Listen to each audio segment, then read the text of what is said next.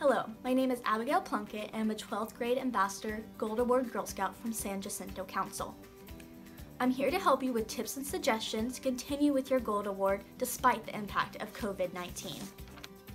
Something that helped me so much with my project was making lists. I had notepads full of stuff and sticky notes stuck all over my desk and laptop. So using notepads to write down details and bright and fun sticky notes to write down quick tasks are very helpful.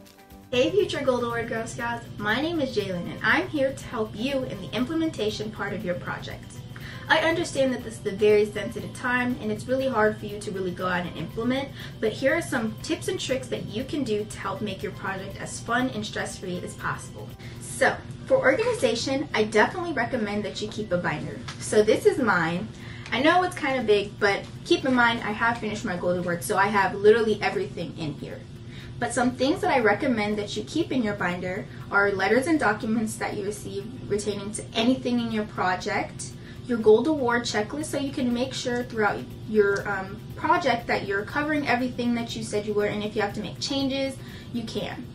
I would also keep a list of people that you have contacted throughout this event and who you've contacted, when you contacted them, and approximately how long you talked to them for, just so you can be sure to put that in your hours log. I recommend keeping it in like a separate document, so maybe a Word document, whatever program you use, Excel, and then kind of transition it over to the Go Gold Online application. And then I also recommend you keep that in your binder. Hi, my name is Kina Gill and I'm from Girl Scouts of San Jacinto Council.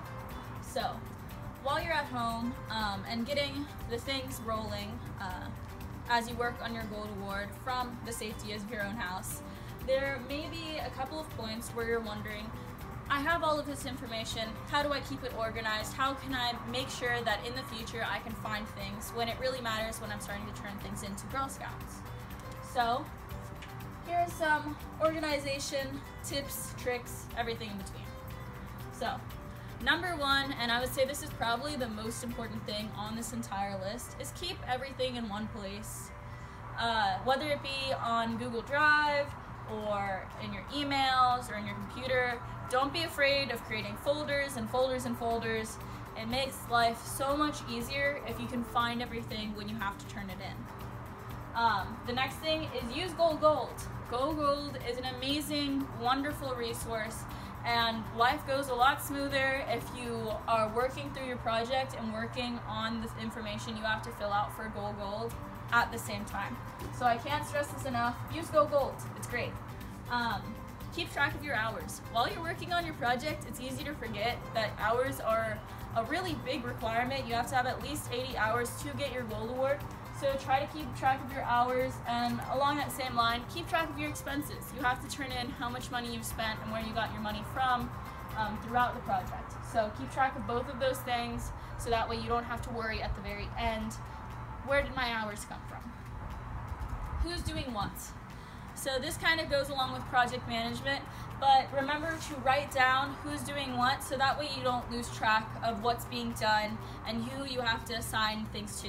That way you don't end up with things that aren't done or two people assigned to the same thing. Uh, the next thing is plan, but don't overplan. Uh, planning is really great. Uh, planning and organization go hand in hand, and it's great to be really organized, but if you plan too much, you might end up really stuck in the same mindset and it doesn't allow you to adapt and change as your project changes. Uh, some kind of key tools that I like to use with my project is Trello. Trello is a really great project management tool. It allows you to make lists and then archive items as you finish them. And then Excel and Google Sheets are fantastic. Do not be afraid of Excel and Google Sheets. They are great, wonderful tools um, if you don't already know how, make sure you guys know how to freeze a row or a column so that way when you scroll, the row and the column stay there and you can see kind of how everything lines up in total. And then sum. Sum is something I used a lot uh, when I was adding up all my hours, so I didn't actually have to do my math, the math itself. Uh, Google Sheets did it for me. I just highlighted all my boxes and it added it together. So yeah, that's all I have to say about organization. Good luck on your gold award and stay home and stay healthy.